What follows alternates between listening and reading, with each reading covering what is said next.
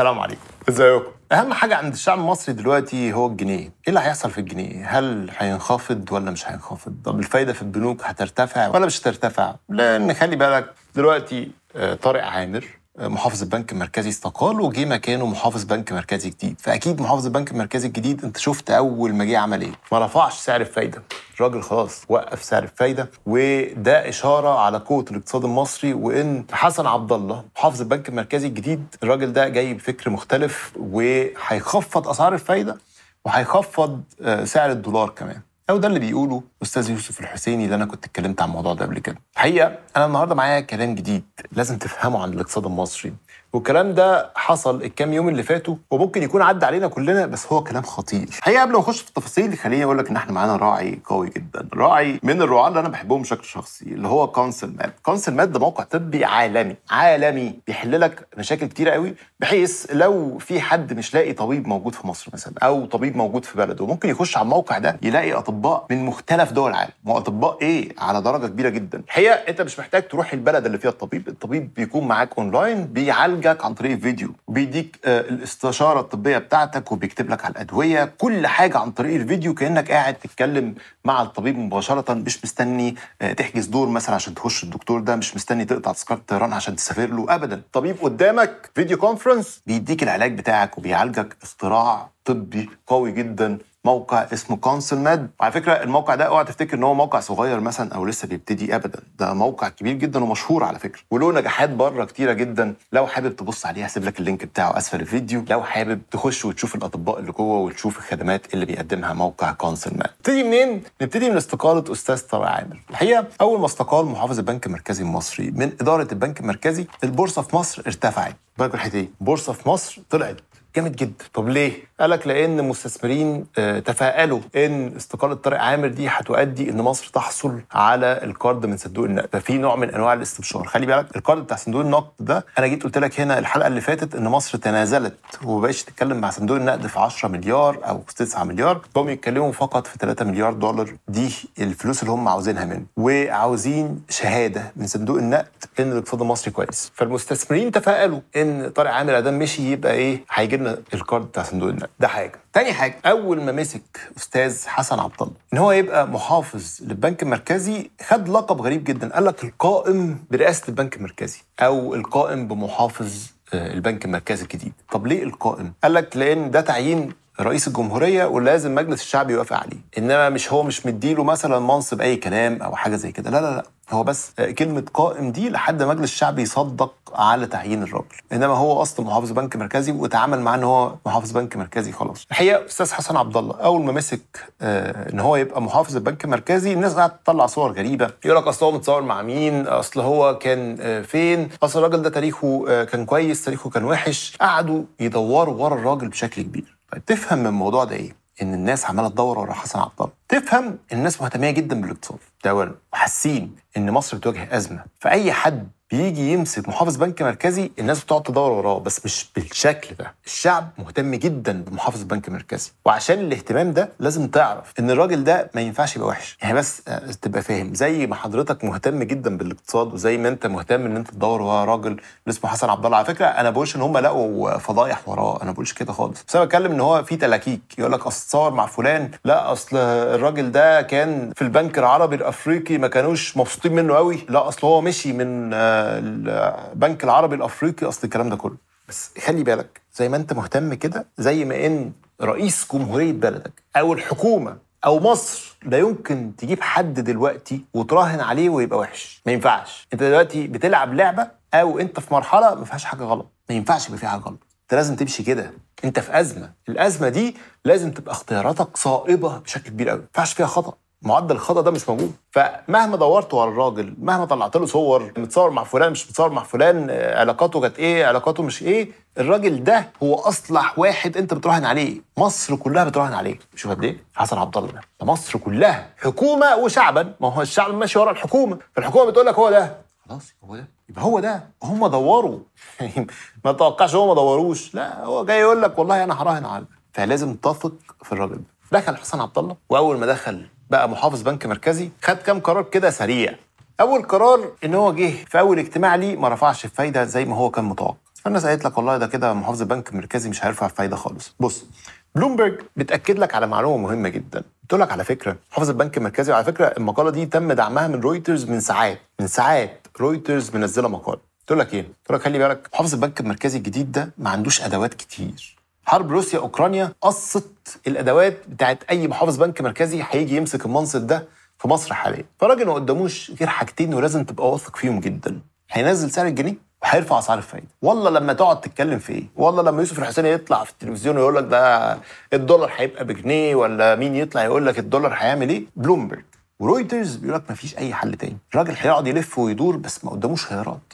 هيرفع الفايدة؟ وهينزل الجنيه. الأكتر عشان بس تبقى فاهم المقالة اللي نزلت من رويترز دي خطيرة جدا نزلت من ساعات. محافظ البنك المركزي أو حسن عبد الله لما جه عين هشام عز العرب. مين هشام عز العرب؟ هشام عز العرب ده كان رئيس ال CIB أو البنك التجاري الدولي وكانت الناس كلها بتشكر فيه جدا وبيقولوا راجل محترم والكلام ده كله إلا إن طارق عامر شاف إن هو لا يصلح وشاف إن هو عنده أخطاء كتير. وتاني أنا ما بسألش طارق عامر ولا بسيء لهشام عز العرب أنا ما أعرفش إيه اللي حصل بالظبط ومحدش في مصر يعرف بس في الآخر اختلفوا ما أدى إن طارق عامر يقيل هشام عز العرب. حتى لو طلع إن هو استقال بس هو أقاله برضه. فكانت مفاجأة كبيرة جدا إن أول ما هشام عز العرب مشي من ال CIB آه الناس في ال CIB زعلوا جدا.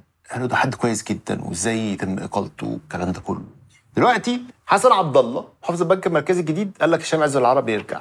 مستشار ليه؟ خد بالك بس الحتة دي. هشام عز العرب رجع تاني بعد ما طارق عامر مشي. ده credit أو ده فضل يرجع لهشام عز العرب تاني طبعا هيتم تلميع صورته تاني وهيتم التركيز على المحاسن بتاعته. هل ده حاجة وحشة؟ ابدا. تاني إحنا ما قدامناش غير اللعيبة دول. التوليفه دي حسن عبد الله وهشام عز العرب دول الأفضل حاليا ولازم تثق في كده. ما قدامناش حل. هم دول بنراهن عليهم. طلعت رويترز تقول لك إيه بقى؟ تقول لك على فكرة خد بالك من حاجة غريبة جدا. أنت عارف إن حسن عبد الله ده كان موجود أيام مبارك حسن عبد الله محافظ البنك المركزي قلت لك كان موجود أيام مبارك ده لما كان في البنك العربي الأفريقي كان داخل مجلس إدارة البنك المركزي. من 2002 ل 2008 ماشي؟ والراجل ده لما كان موجود في البنك المركزي هي بتحاول تشرح لك خططه أو تصرفاته. كان بيعمل حاجات غريبة جدا. كان بيشرف على إن هو يعمل إزدهار في سوق العملات. مش الخارجية مش السوق السوداء لا البنوك. يبقى فيها عملات كتير. ده حاجة. تاني حاجة كان بيخفض الضرائب على الدخل. خفضها 20% هو ما كانش محافظ بس هو كان له آراء آه، الظاهر كده محافظ البنك المركزي استمع ليها.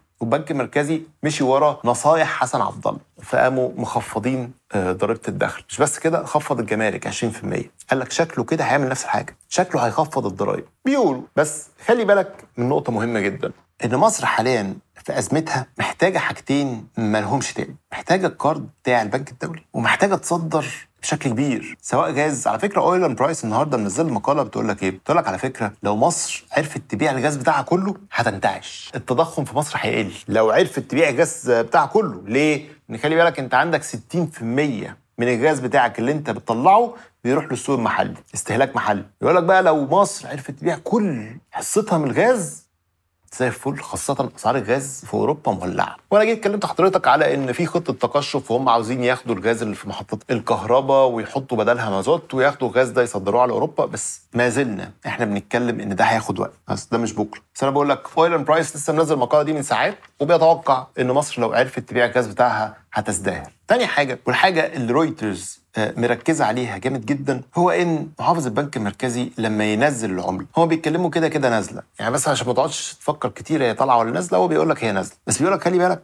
إن حسن عبد الله ده لما يجي هيخفض العملة بسرعة. يعني كنت كلمت حضرتك على إن هم بره بيتكلموا على إن آه، الدولار الواحد يساوي 22 جنيه. ده بره. ده قيمته الماشية. وعلى فكرة رويترز بتقول لك إن الناس في السوق السوداء بيبيعوا الدولار ب 20 جنيه. ده رويترز اللي بتقول. فرويترز هنا بتقول لك حاجة غريبة جدا. حسن عبد الله لما ينزل الجنيه هينزله بسرعة. في وقت أقصر بكتير ما كان طارق عامر كان ممكن لو هو بيشرف على عملية آه، تعويم العملة دي تاخد وقت أكبر. حسن عبد الله هينزله بسرعة. ولو خدت بالك من السوق هتلاقي إن العملة بتنخفض بسرعة فعلا. كل يوم عمال تنزل قروش. مش قرش قروش. فده القرار اللي هياخده حسن عبد الله. مين اللي قايل الحتة دي؟ يعني مين اللي قال إن حسن عبد الله هينزل العمله بسرعة؟ مفاجأة. هشام عز العرب اللي لسه متعين في البنك المركزي مع حسن عبد الله. هو اللي قال لرويترز كده. لا هننزل العملة بسرعة. خد بالك لو إحنا كنا بنتكلم على نهاية 2023 إن العملة تصبح ب 22 جنيه للدولار أتوقع إن الموضوع ده هيبقى أسرع بكتير جدا نتيجة لتصريحات هشام عز العرب اللي لسه نازلة من ساعات. يقول لك إحنا هننزل قيمة العملة.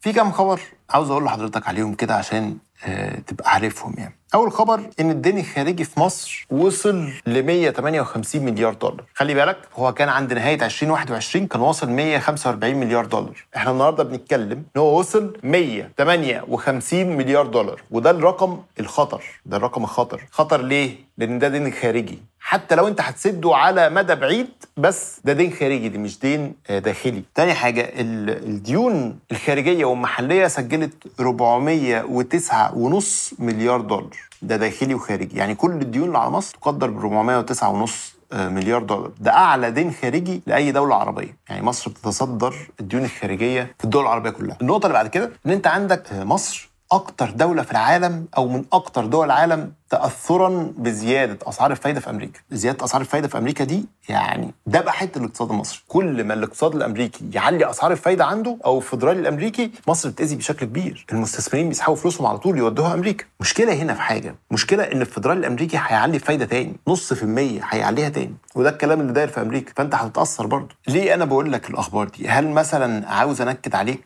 لا أنا مش عاوز أنكد عليك. أنا عاوز أطلعك على الأزمة. تاني ما تخافش. إحنا مش في حالة انهيار أو في حالة ضعف. محدش بيتكلم على كده خالص. إحنا في مرحلة أزمة وهنعدي منها إن شاء الله. وخلي بالك من كمية الاستثمارات الخارجيه اللي جاية بشكل كبير جدا. 20 مليار من قطر 35 مليار من الإمارات. السعودية داخلة معاك ب 10 مليار. آه، أرقام ضخمة جدا. بس مشكلة الاستثمارات دي وقت. بالمناسبه بالمناسبة البنك الدولي عاوز شرط جديد بقى. إيه هو؟ بيع الأصول المصرية أو الشركات الحكومية تتعرض في البورصة بشكل أسرع. خلي مستثمرين يشتروا الحصص الحكومية في الشركات وطلع الحكومة بره الاقتصاد. بس بشكل أسرع. خلي بالك إن دلوقتي مصر قالت إنها قريبة جدا من الحصول على القرض بتاع آه، صندوق النقد. جميل آه، ما فيهوش مشكلة. بس القرض ده شروطه صعبة. بيتوقعوا إن وقت التوقيع أو اليوم ال- خلاص الاثنين هيتفقوا إن تبقى الشروط أخف سنة. يعني خلاص يرجع البنك الدولي يقول لك يعني ماشي بس تاني أنا بس عاوز اكد لك على كام نقطة مهمة جدا.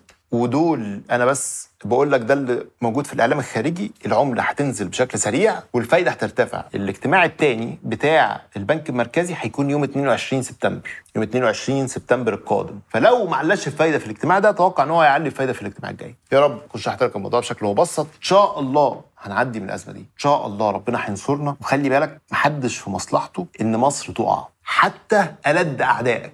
مش عايزك تقع محدش مصلحته خالص. فما تتوقعش إن في مؤامرة اقتصادية عليك أو اللي حد عاوز يساعدك مش هيساعدك. خالص. كل الناس واقفة جنبك. فعشان كده أنا بقول لك إحنا هنعدي بالأزمة. إن شاء الله. يا رب انصر مصر يا رب. يا رب انصر العرب. وتحيا مصر. سلام.